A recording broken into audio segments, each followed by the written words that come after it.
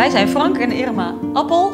Wij wonen hier in het prachtige Hoogwoud. Bijzonder aan het huis vind ik zelf dat het is een authentieke Noord-Hollandse stolp, Westfriese stolpboerderij, die compleet origineel is, behalve aan de achterkant, waar we een dubbeldekker door eh, naar binnen hebben gereden. Dat is ons entree en dat is dus eigenlijk het bijzondere eraan. En eromheen staan heel veel voer, vaar en, en vliegtuigen en dat soort dingen inderdaad. Wij hebben een passie voor alles wat met vervoer te maken heeft. En ik heb daar mijn passie in als bed and breakfast, in de trams en de trein. En we hebben ook vervoersmiddelen in huis staan, zoals mijn keukentje hierachter. Citroën HI, bij ons op het dorp, elke zondag zo'n autootje waarvan de zijklep open ging en er was een patatkraam.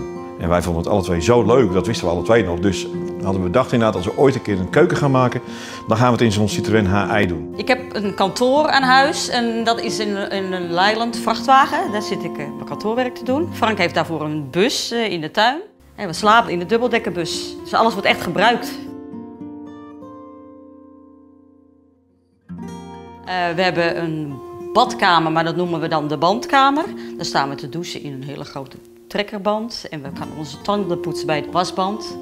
Het is leuk om dingen te recyclen, want we zijn al een weggooimaatschappij. In nu 15 jaar geleden hebben we twee trams gekocht.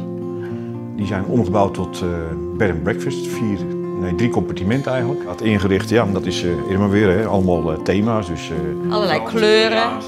de trams zijn allebei, komen ze uit Duitsland. 1944, bijzonder jaar.